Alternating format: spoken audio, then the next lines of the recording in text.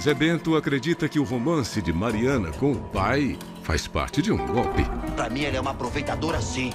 E viu no senhor um velho trouxa pra poder se aproveitar. Eu devo ser muito trouxa mesmo.